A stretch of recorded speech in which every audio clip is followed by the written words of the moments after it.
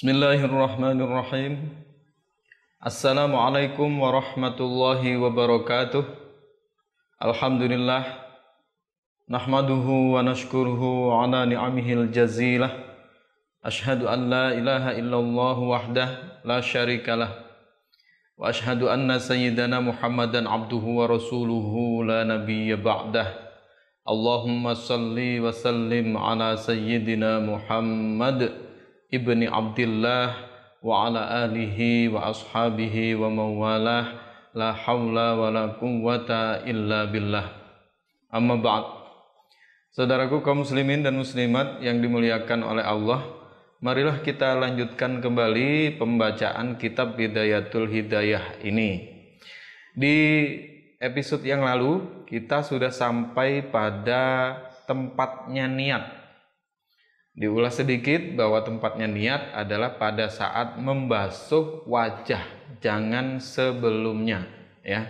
Dan eh, kalau bisa itu di awal pembasuhan. Nah, kalau ingin membersihkan hal-hal yang ada di wajah terlebih dahulu itu boleh-boleh saja akan tetapi niatnya harus di area pembasuhan wajah itu. Kita lanjutkan Summa hud nuli ngalapo sapa sira ghurfatan ing sak cawuk. Livika kanggo tutuk ira. Watamat mat lan kemu sapa sira. Biha kelawan ghurfah salatan kelawan ambal kaping telu.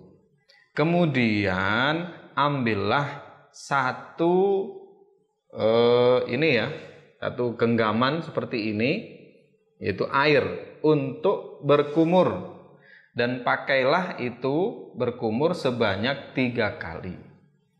Nah ini kita sudah sampai pada bagaimana cara berkumur. Kita lanjutkan dulu. Wabalil lan banget banget no sopo siro firodil mai ing dalem numekakno banyu ilal wal somati tumeka maring pangkale tenggorokan. Illa antakuna kejaba yen to ana sapa iku so iman wong kang poso faturafik mongko alon-alon.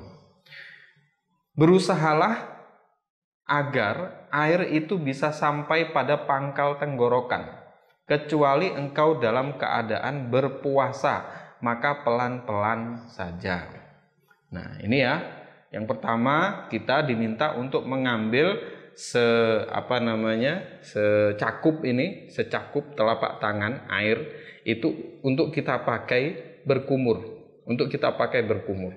Nah ini kalau bisa satu cakupan ini untuk tiga kali kumuran. Itu satu cakupan. Kemudian berusahalah agar air yang kita pakai untuk berkumur itu nyampe kepada tenggorokan sini, pangkalnya. Atau kalau kita bisa bilang amandel ya, sampai di amandelnya itu. Oleh sebab itu, cara berkumur ya seperti ini, kemudian kita hisap sedikit saja, kemudian disampaikan eh, ke amandelnya tadi. Gini dan kemudian jangan lupa ketika mau membuang gitu, membuanglah ke kiri. Gitu. Kalau saya lihat masih banyak ya di tayangan-tayangan tertentu itu kalau membuang e, sisa dari kumur itu e, ke depan. Nah, ini tidak beradab, kurang beradab. Karena di hadapan kita pada saat kita beribadah itu zonnya, asumsinya adalah Allah Subhanahu wa taala, sebelah kanan adalah para malaikat. Oleh sebab itu cara membuang adalah ke kiri. Gitu. Kemudian ngambil lagi ini kemudian dibuang lagi itu sampai tiga kali. Itu kalau cukup ya. Kadang-kadang kan orang tidak bisa. Oleh sebab itu untuk e, mencakup air ini memang kita harus benar-benar bisa mempertemukan antara telapak tangan kita itu sehingga bisa seperti wadah. Nah begitu ya. Ini yang yang sempurna memang seperti itu. Tidak menggunakan alat. Nah itu tadi cara berkumur, kemudian ada doanya, wakul. Lan ngucapo sapa sira. ing donga Allahumma a'inni ala tilawati kitabika wa kathrati dzikri laka wa tsabbitni bil qawli tsabiti fil hayati dunya wa fil akhirah Allahumma ya Allah a'inni mugi nulung panjenengan ing ingsun ala tilawati kitabika ing atase iso maca kitab panjenengan. Wa kathrati dzikri lan ngakehaken dzikir iling laka maring panjenengan. Wa sabbit lan mugi netepaken panjenengan ing ingsun. Bil qauli kelawan ucapan asabiti kang tetep. Ya la ilaha illallah itu maksudnya fil hayati dunya ing dalem urip ana alam donya wa fil akhirati lan ing dalem urip ana alam akhirat. Ya Allah tolonglah aku begitu agar bisa membaca kitab-kitabmu dan memperbanyak zikir kepadamu.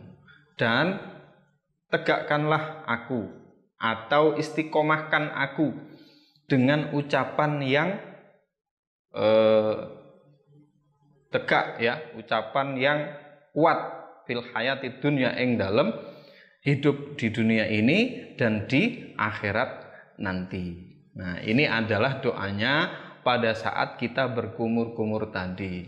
Kapan ini bisa kita ucapkan? Ini bisa bisa di awalnya, bisa di tengahnya, begitu, atau di akhirnya.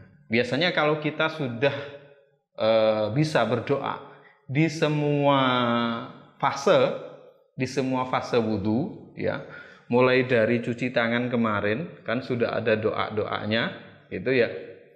Nah, maka yang paling enak itu di tengah-tengah gitu. Tapi ada nanti yang eh, pada saat kita membasuh hidung, nah itu ada dua. Jadi di awalnya ada, di akhirnya itu ada. Jadi pada saat istinsyak menghisap air dari hidung itu ada doa.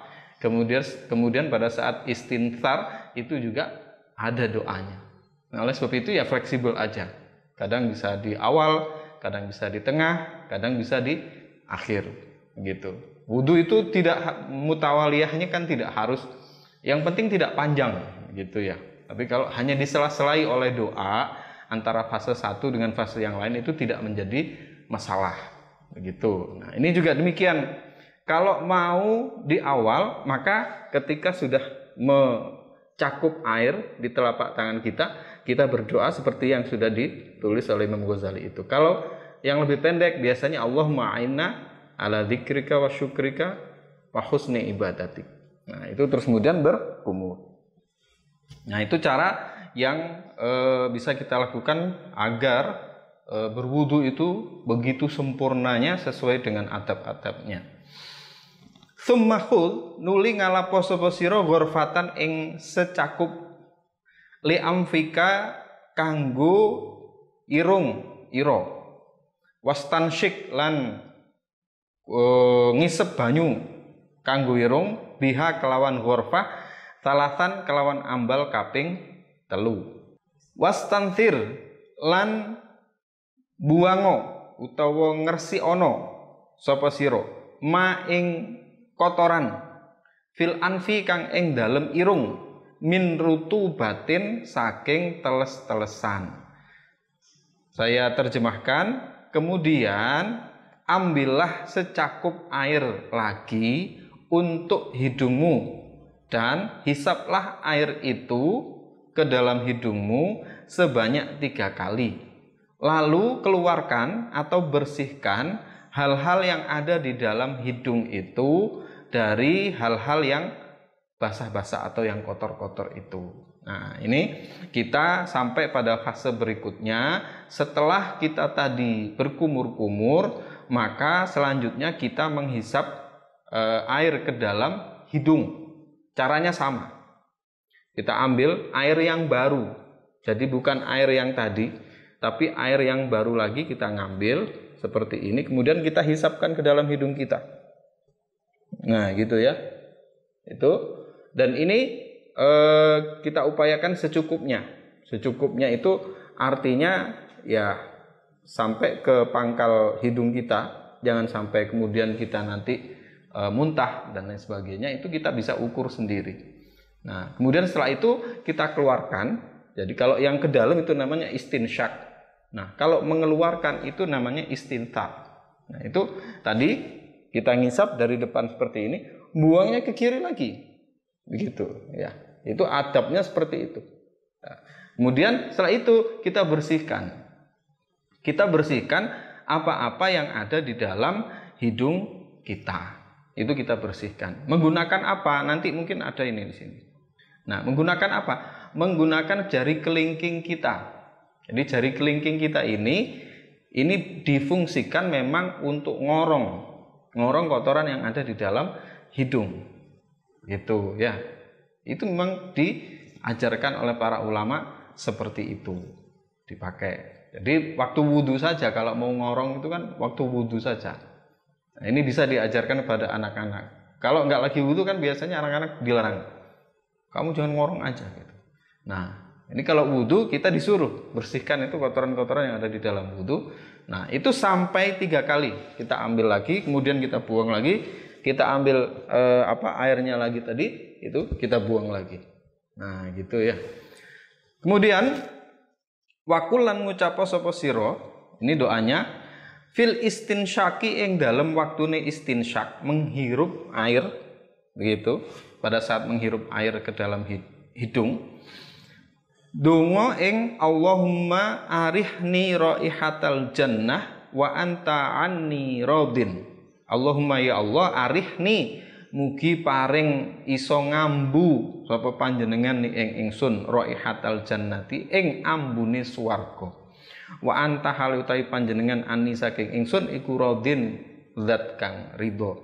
Ya Allah, berilah aku kebisaan untuk mencium baunya surga, sedangkan engkau ridho kepadaku. Nah ini doa pada saat istinsyak.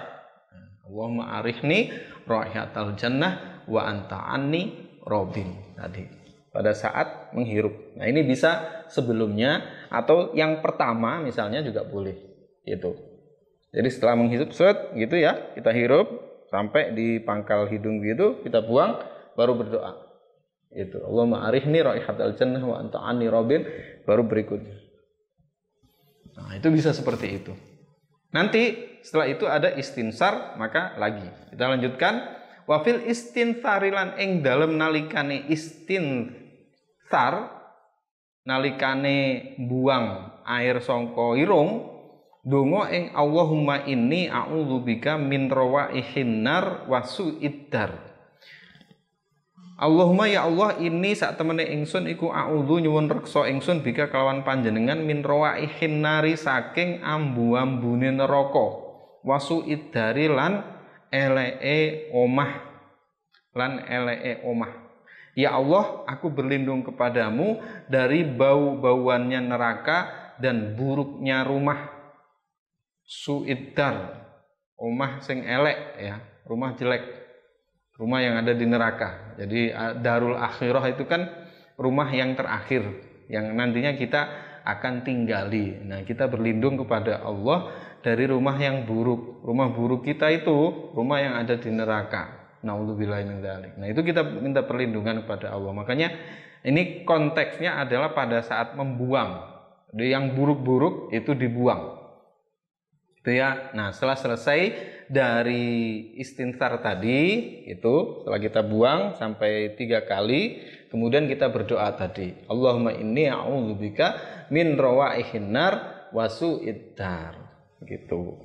Jadi ya. Semakhud nuli ngalapo sapa sira ghurfatan. Ghurfatan ing sak cawuk atau secakup tadi liwajhika kanggo wajah ira. Waksil lan baswa sapa sira biha kelawan ghurfah mim tadai tastihil jabhati. Saking kawitane permukaane eh, apa namanya dahi atau jidat ya. Ila muntaha ma tumeka maring notoke area yubilu kang madhep minat dakoni saking dagu fituli ing dalem ukuran panjang wa minal udhuni lan saking uh, kuping ilal uduni tumeka maring kuping kang siji fil arodi ing dalem ambani. Bagaimana ini maksudnya? Kita lanjutkan di lain kesempatan. Insya Allah. Wassalamualaikum warahmatullahi wabarakatuh.